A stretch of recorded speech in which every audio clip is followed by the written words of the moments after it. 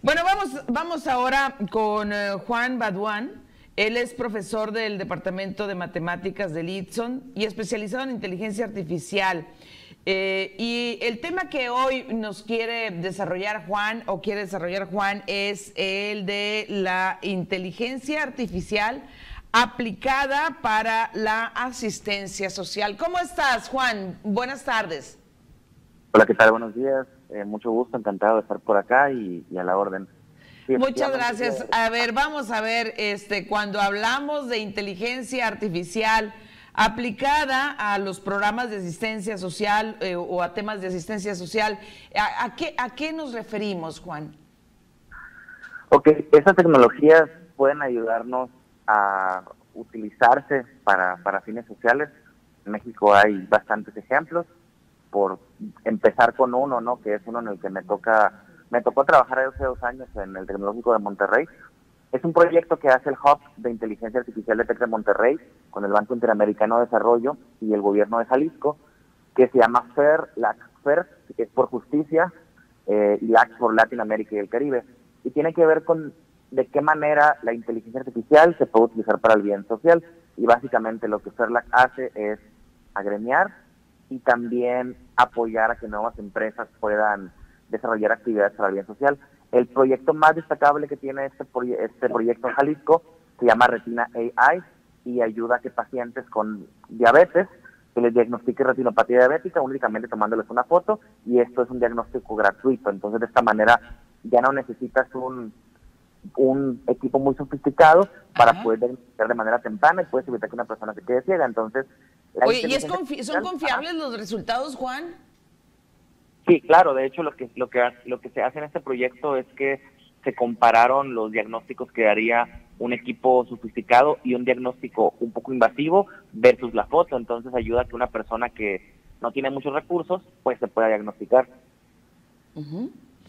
Eh, ¿Esto, se, ¿Esto se hace en el TEC de Monterrey? Sí, eso lo hace el TEC de Monterrey, Jalisco, en conjunto con el Banco Interamericano de Desarrollo. Ajá. Sí, y, bueno, este, seguramente está la inteligencia artificial eh, metida cuando hablamos del diseño y la, elaboración. Eh, eh, estoy viendo la imagen, pues, este, de manos o prótesis en, en, en, 3D, ¿no? Ah, sí, claro. De hecho, una, una iniciativa que se tiene también es que los temas médicos, en este caso que estamos abordando, son más, digamos, sencillos de implementar sin equipo muy sofisticado. Con la IA, por ejemplo, si se escanea la necesidad de prótesis de una persona, con un algoritmo de IA se puede diseñar una prótesis 3D que se adapte mejor a sus necesidades de una manera más rápida, a lo mejor sin necesidad de tener un especialista que, que, le varía mucho los costos para que llegue esta persona.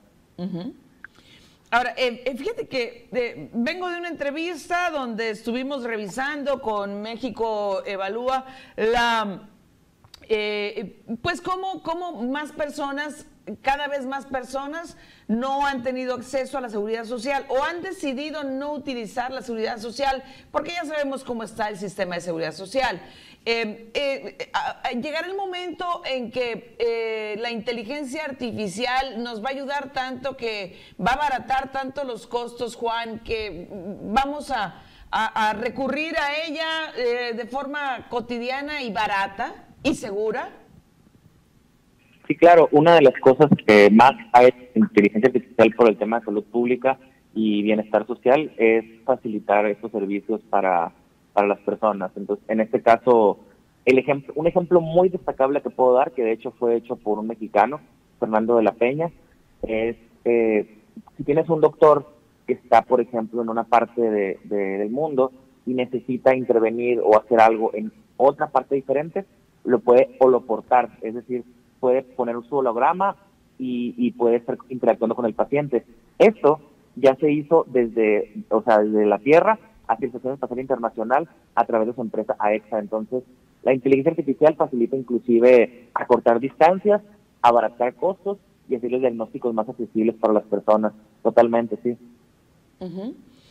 ¿Hay, algún proyecto o aquí en México y si eh, existe en Sonora que, particularmente te llame la atención y te emocione a ti como, como especialista en estos temas de, de, inteligencia artificial, Juan, eh, que tengan que ver precisamente con ese abrazar las posibilidades que el desarrollo tecnológico nos presenta? Sí, claro. Eh, dos ejemplos. Uno tiene que ver 100% con asistencia social que lo hacen mis amigos de T-Minds. T-Minds es un think tank mexicano que de hecho ellos publican la agenda de inteligencia artificial para México. Tiene una iniciativa genial que se llama eh, AI for Climate, en el cual apoyan a personas este, en el Yucatán para que conserven el jaguar y utilizan inteligencia artificial en cámaras inteligentes para detectar en dónde es jaguar. Entonces a las personas que tal vez no tenían trabajo, les dan un trabajo como centinelas de los jaguares utilizando IA. Y este proyecto lo hace este, Minds en México. Y en Sonora hay un proyecto que yo siempre presumo que está pasando, que se llama Lipstock Analytics. Ellos son este, muchachos de, Hermosillo precisamente que hacen inteligencia artificial con vacas, con el ganado. Entonces a un productor le pueden facilitar toda su operación, cuándo se enferma la vaca, cuándo va a engordar la vaca y pueden meses antes saber cuánta carne van a producir. Y ese es nacido en, en Hermosillo y le proveen servicios a Arizona y a Texas también. Ajá. Y, dime, ¿se está, ¿se está aprovechando aquí en Hermosillo? Es decir, ¿hay determinación para, para invertirle, para apostarle a estos proyectos? ¿O tenemos que buscar, en, eh, en este caso en Arizona, el desarrollo la aplicación del mismo? Pues eh, la clientela que, por ejemplo, ellos tuvieron fue primero en Sonora y después ellos proveen los servicios allá pero si hablamos de desarrollo particular, así como lo hacen ellos, otro ejemplo que puedo poner bien claro es, eh, y coincido contigo, que los extranjeros de repente son los que creen más en esto. Por ejemplo, hace unos unos días, eh, un equipo de chicos del TEC de Monterrey, Campus Sonora en Hermosillo, ganan una competencia global de T-Connectivity, de inteligencia artificial, ahí el TEC de Monterrey. Entonces, si hay iniciativas que apoyan esto, lo que se necesita es, yo creo, hacer foros que se demuestre a los y las empresarios gobierno que esto es una cosa que se puede desarrollar desde México, entonces damos oportunidades a las juventudes, porque o es de esta manera o nos va a desplazar completamente los proveedores extranjeros y la misma inteligencia artificial.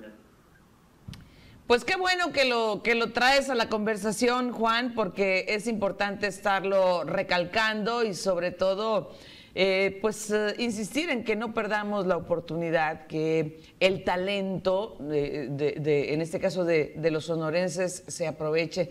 Muchas gracias. Dinos, por favor, recuérdanos tus redes sociales. Eh, a mí ponen como Precisión Agrícola MX en las redes sociales y justo también somos una startup de inteligencia artificial que nació en Sonora y seguimos trabajando con todo el tema de, de la agricultura, que fue lo mismo, o sea, empezamos aquí, vimos oportunidades y hemos estado creciendo, así que yo le hago ese llamado a la juventud de que le apuesten por la tecnología, que hay bastante oportunidad y Sonora ha sido siempre un hub de talento eh, enorme. Entonces, pues, es muy buen lugar para hacerlo. Excelente. ¿Tus redes? Pensión Agrícola MX. Nuevamente. Bien. Muchas gracias, como siempre, Juan. Muchas gracias. Gracias. Es eh, Juan Baduan, eh, profesor del Departamento de Matemáticas de Litson y eh, como ya usted pudo darse cuenta, especialista en inteligencia artificial. Vamos a la pausa, volvemos.